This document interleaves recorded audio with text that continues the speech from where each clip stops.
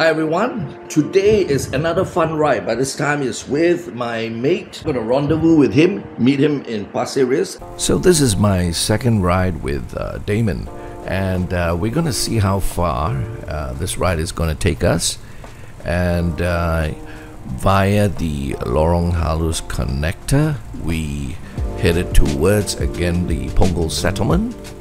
So we are here right now just after the Halus Bridge. There's a couple of uh, family of monkeys right here. They're all over the place as you can see.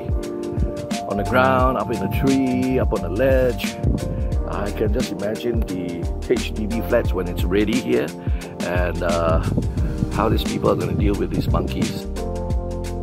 Arrived at the Punggol settlement and finally headed towards the Punggol Marina and went across to the Jewel Bridge where we took a quick rest and then we continued along towards Sengkang via the river and towards Buangkok and then we finally made it to Ang Mo Kio Avenue 5. Now this is where the Nanyang Polytechnic uh, is. We went a little bit more but then we had to turn back. Oh, it's magic! As usual, Daman has to bring his little furry for a walk at 5 o'clock, hence we had to make a turn back.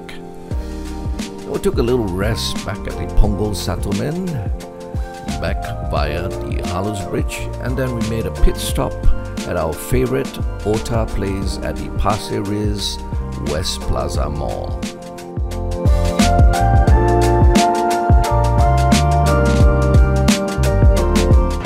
All right, let's push it over there.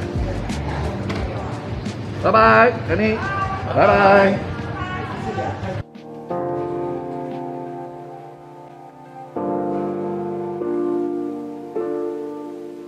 Looks like it's uh, altogether 46 kilometers. Great, right? Excellent, right? Yeah. Have a great day. Yeah, fantastic. Okay, baby. Okay. I better go, right?